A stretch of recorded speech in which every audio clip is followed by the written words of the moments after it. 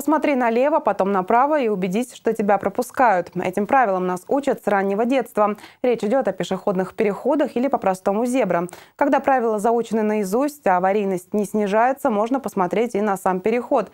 Из более чем 46 тысяч 15 тысяч не соответствуют техническим нормам безопасности дорожного движения. Такова ситуация в стране. А вот как обстоят дела в Нарьин-Маре, выясняла наша съемочная группа.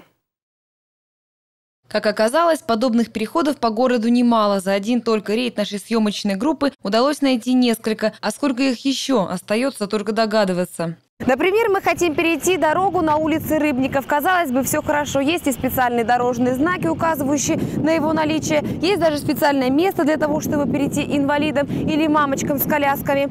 Но дальше что? Идем по пешеходному переходу и упираемся в бордюр и просто в отсутствие элементарной дороги. Следующий переход, который также явно не соответствует нормам, мы нашли по соседству, прямо в центре города. Куда только не приведут нас пешеходные переходы. Вот этот, например, привел нас в кусты. Рядом яма с люком, а по соседству расположен знак, который непонятно в каком направлении и высоте, явно не соответствующий нормам, как раз для водителей. Всего в городе и поселке Искателей 182 пешеходных перехода. Накануне нового учебного года сотрудниками «Чистого города» проводилась проверка, по результатам которой было выявлено множество недостатков в обустройстве дорог. Ни одного образовательной организации не установлены светофоры типа Т7.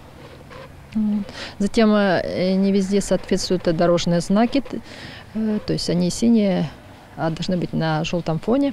Э, не у всех образовательных организаций на тот момент, когда проводились проверки, э, была нанесена разметка необходимая.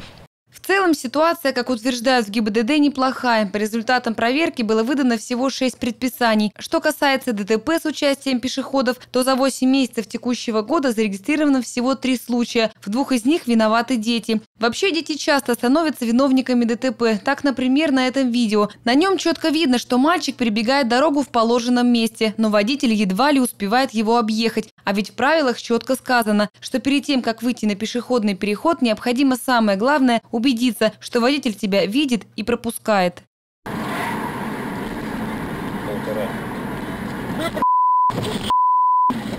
Напомню, что требования ГОСТ по пешеходным переходам изменились довольно давно. Так, например, зебра должна быть уже не черно-белой, а желто-белой. Знаки пешеходный переход должны быть в рамке желтого цвета, при этом должны быть с двух сторон от столба. Переход ночью требуется освещать или выделять подсветкой. Вдоль дорог необходимо установить ограждение, чтобы ретивный пешеход не выскочил на дорогу в неположенном месте. И хоть статистика в нашем округе и не такая ужасающая, как в других городах, пешеходных переходов, которые оставляют желать лучшего, еще очень много.